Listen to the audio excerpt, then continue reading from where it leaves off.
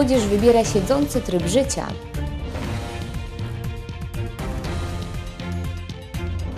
Przegląd 200 lat cukrownictwa na ziemiach polskich. Projekt sali koncertowej już gotowy. Witam 8 października, Karolina Kamińska, zapraszam na serwis informacyjny. W ostatni poniedziałek minister kultury i dziedzictwa narodowego Bogdan Zdrojewski oficjalnie poinformował, że Państwowa Szkoła Muzyczna pierwszego stopnia w Ostrowcu na budowę sali koncertowej otrzyma kwotę między 9 a 11 milionów złotych. Projekt sali już jest i robi wrażenie. W październiku Państwowa Szkoła Muzyczna pierwszego stopnia w Ostrowcu świętować będzie jubileusz 40-lecia istnienia, okrągły po raz ostatni, korzystając z gościny innych placówek. Projekt techniczny nowej sali koncertowej szkoły gotowy ma być do końca listopada. Środki finansowe zostały już obiecane. Szkołę prowadzi Ministerstwo Kultury i Dziedzictwa Narodowego i ono będzie zadanie finansować. Wizualizacja sali też już jest i robi wrażenie. Budynek będzie bardzo piękny, z salami do prób. W budynku o powierzchni użytkowej przekraczającej 2000 m2 sercem będzie oczywiście sama sala, która pomieści 260 osób, 204 w sali głównej, 56 na balkonie, 68 m2 samej tylko sceny. Warto dodać, że z zapadnią pomieścić ma 45 artystów, czyli na przykład 20-osobowy chór i 25-osobową orkiestrę. W obiekcie na różnych piętrach będą też garderoby, sala prób chóru, orkiestry, sala rytmiki, dwie sale dydaktyczne dla klasy perkusji, przestronny bufet, pokoje gościnne, pomieszczenia gospodarcze i oczywiście studio nagrań. Szkoda tylko, że Wojewódzki Konserwator Zabytków gwałtownie zmienił zdanie, że jednak e, powinna być to nowoczesna bryła ze wszystkich stron, a na początku mówił, że od strony ulicy Jórzeckiej powinno być, powinna być zachowana elewacja no, e, dzisiaj nazywanego budynku hajnego, tak, wcześniej miejsce, w którym miała siedzibę Wojewódzka Biblioteka e, Pedagogiczna. Wygląd elewacji sali koncertowej od frontu nie jest jednak jeszcze przesądzony. Najprawdopodobniej utrzymany będzie w nowoczesnym stylu, nawiązującym albo identycznym jak tył. Inwestycja ma być zrealizowana w cyklu dwuletnim. Do końca listopada szkoła musi złożyć wniosek do Ministerstwa Kultury i Dziedzictwa Narodowego o przyznanie środków finansowych na 2014 rok. Informacja o przyznaniu środków pojawić może się w styczniu. Od razu ogłoszony będzie mógł być przetarg na budowę sali. Wcześniej wyburzenie domu hajnego i to wszystko już za kilka miesięcy. O tym, że uprawianie sportu, zdrowy tryb życia, odpowiednia dieta mają istotny wpływ na nasze zdrowie, wiemy dużo. Niestety często na samej wiedzy się kończy. Statystyki są nieubłagalne. Młodzież w dzisiejszych czasach coraz rzadziej garnie się do sportu, wybierając w zamian siedzący tryb życia. Tradycyjna rozgrzewka na lekcji wychowania fizycznego. Na ławce dziewczęta, które mają zwolnienia z lekcji. Wśród nich jak najbardziej aktywna Ewa Skotnicka, uczennica gimnazjum nr 1, która właśnie odpoczywa po zawodach, na których zdobyła trzecie miejsce. Sport to dla niej prawdziwa pasja. Zawsze wieczorami albo zależy może z rana, zazwyczaj w weekend z koleżanką. Z dwa kilometry zawsze, tak gdzieś truchtem, czasami sprintem. Jej przeciwieństwem jest Alicja Forma. W lekcjach WF-u uczestniczy jednak na co dzień woli uczyć się przedmiotów ścisłych. No, szczerze powiem, że mm, tak lubię, ale niekoniecznie. Zależy co mamy. Na przykład bardzo chętnie gram w siatkówkę, w zbijakę, no takie gry zespołowe, ale na przykład biegać to nie za bardzo. To nie wyjątek. Młodzieży świadomie uprawiającej sport z roku na rok ubywa. Młodzi stają się coraz mniej sprawni. Problemem jest przede wszystkim siedzący tryb życia e, i dorosłych, i dzieci. Nie można jednak generalizować, uważają nauczyciele wychowania fizycznego. Nie brak jest młodzieży zainteresowanej uprawianiem sportu. Często brakuje im po prostu zachęty i dobrych wzorców. W tym nasza rola, nauczycieli wychowania fizycznego, opiekunów, rodziców, e, abyśmy sami swoim przykładem dawali pomysły dzieciom, w jaki sposób aktywnie spędzić czas wolny i i jak najlepiej zagospodarować ten czas, żeby e, oprócz tej aktywności fizycznej spędzać czas przede wszystkim razem. Nauczyciele zauważają też, że coraz mniej uczniów korzysta ze zwolnień z wychowania fizycznego. To ich zdaniem dobry prognostyk. Jeżeli chodzi o naszą szkołę, to raczej nie ma takiej tendencji, aby uczniowie miegali się od WF-u. Y, Poza tym y, jest, y, obserwujemy spadek liczby zwolnień. Y, W porównaniu z ubiegłym rokiem jest y, dużo mniej zwolnień stałych. W tym roku na 506 uczniów jest 16 zwolnień i są to zwolnienia całoroczne, więc no, przypuszczamy, że ta tendencja no, raczej nie wzrośnie, tylko mamy nadzieję, że nawet po pierwszym semestrze tych uczniów będzie mniej. Niestety już coraz młodsze dzieci mają poważne problemy. Zarówno nauczyciele, jak i specjaliści od fizjoterapii zauważają niepokojące zmiany w sylwetkach uczniów.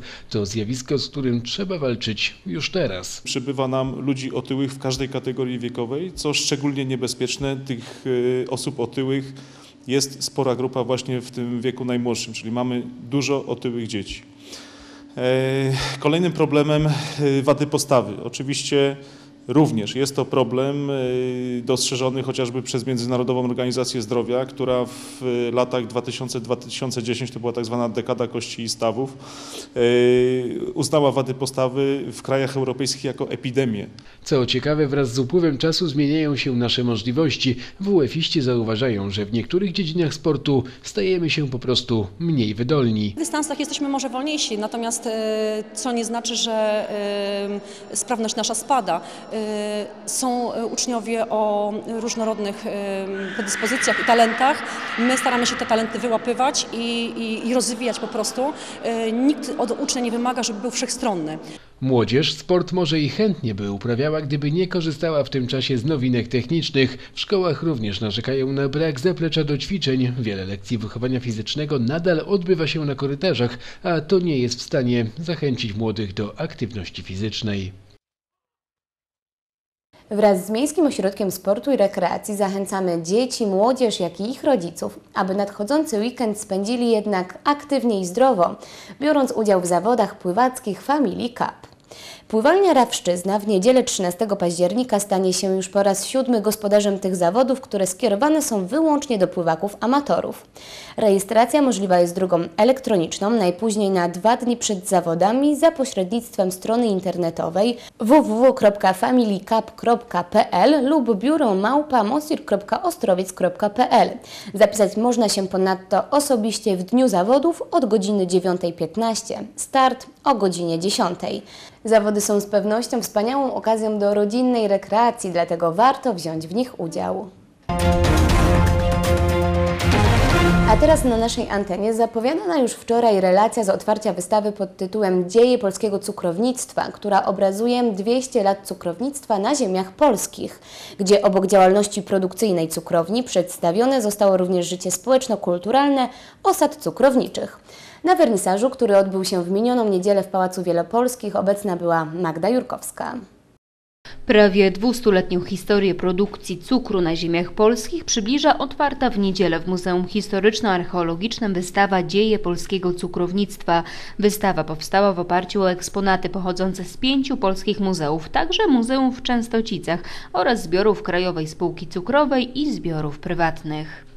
To są e, obiekty no, różnorodne, czyli tak mapy, plany, plany sytuacyjne cukrowni, y, przekroje różnych budynków, elewacje, są medale okazjonalne upamiętniające kolejne rocznice, są y, dokumenty, archiwalia, jest dużo książek. Ekspozycje wzbogacają różnego rodzaju urządzenia pomiarowe. Zaimprowizowane jest także laboratorium, mózg każdej cukrowni, a także tablice opisowe. No i jest sporo poświęconych sportowi też, bo cukrownie poza produkcją zawsze mm, były bardzo bogate, jeżeli chodzi o życie takie y, kulturalno-społeczne. Cukrownie bowiem były nie tylko zakładami pracy, wpływały na rozwój urbanizacyjny miast, dzielnic czy osad. Kazimierza Wielka na przykład prawa miejskie otrzymała dzięki cukrowni Łubna. Były też ośrodkami życia społeczno-kulturalnego.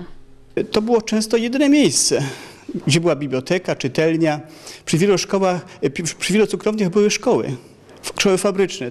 W Częstocicach pierwsza szkoła, jaka powstała, to była fabryczna y, przy cukrowni Częstocice w 1885 roku. Największa część zbiorów dotyczy oczywiście cukrowni Częstocice, dla której w latach jej świetności w sezonie pracowało nawet 600 osób. Wystawa obala jednak fałszywe, ale upowszechnione informacje dotyczące cukrowni Częstocice, która nie była ani najstarsza w Królestwie Polskim, powstała jako trzecia w 1839 roku. Nie była też największa, ale wpływ na osadę Częstocice, później Ostrowiec miała ogromny. Pozostawiła po sobie osiedle fabryczne, stawy, ciekawe budowle. Idąc już w głąb, w głąb zakładu jest budynek paczkarni. Budynek paczkarni z XIX wieku, trzechkondygnacyjny, z piękną salą na, na tym y, najwyższym poziomie, która no, idealnie nadaje się na Muzeum Cukrownictwa Polskiego. Cukier, który krzepi w historii Polski, swoje piętno zaznaczył mocno także w kulturze, w tym kinematografii. Czy rzeczywiście w cukrze możemy spodziewać się różnych zawartości cukru? E, Tak możemy się spodziewać. Są dwie jak gdyby kategorie, kategoria pierwsza i druga. E, My jemy najczęściej kategorię drugą, co nie oznacza, że ona jest druga i niedobra, tylko ma o e, jedną dziesiątą mniej cukru, czyli my jemy 99,7%. Cukru w cukrze, którego w Polsce w 2009 roku spożyliśmy w ilości 1 520 tysięcy ton. Miłośników zbierania grzybów w świętokrzyskich lasach nie brakuje. Musimy jednak pamiętać o zachowaniu szczególnej ostrożności podczas ich zbierania. Państwowy Powiatowy Inspektor Sanitarny w Ostrowcu Świętokrzyskim przypomina, że niektóre grzyby zawierają związki silnie trujące.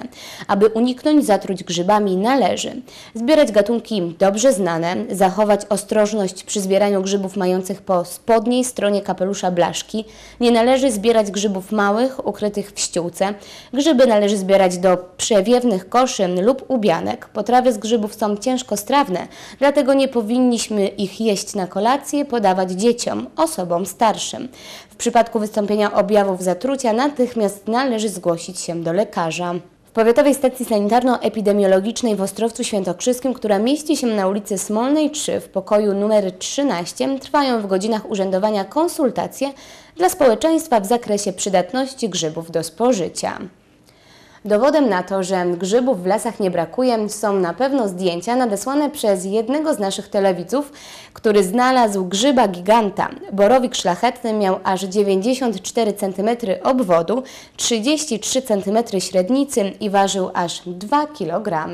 Dziękujemy za nadesłane zdjęcia i prosimy o więcej. Wszyscy ci, którzy chcą się z nami podzielić jakimś ciekawym zdarzeniem, informacją bądź fotografią, prosimy o kontakt z naszą redakcją. Przypominam adres mailowy redakcja małpaostrowiectv.pl. Dziękuję za uwagę w dzisiejszych telefaktach. To już wszystko. Do zobaczenia jutro o stałej porze.